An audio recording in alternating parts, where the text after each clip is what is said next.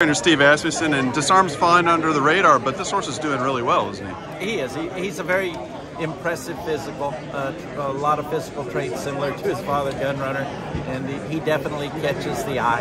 Trains really well over the racetrack, and uh, you know, extremely pleased with him drawing the 11 hole. He's a big horse, carries plenty of size.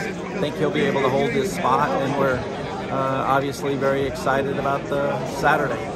When this horse won impressively at Saratoga, were you thinking about Derby way back then? Uh, uh, well, with most of the, you know, with horses uh, come in, uh, look like him, pedigree like him, you're thinking about that before you ever work them. I mean, we are Derby dreaming at all times, but he is uh, a very talented horse.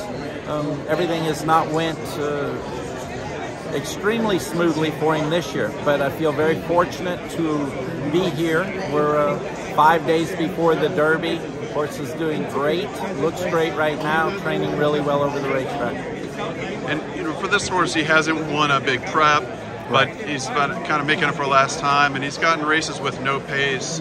Uh, what might people be missing on a horse like this that uh, he's really ready to compete on Saturday? Well, I think you know you mentioned that about the pace. The the pace of this year's Derby is extremely concerning to everybody in it. I mean, it's quite obvious, um, and 20 horses don't fit in exactly the same spot in a race. So the lack of pace is probably going to make for some very tough trips for a lot of horses, and hopefully we're not one of those.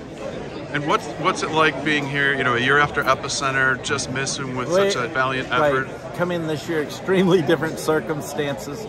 We go from you know the morning line favorite to 30 to one with the exact same connections.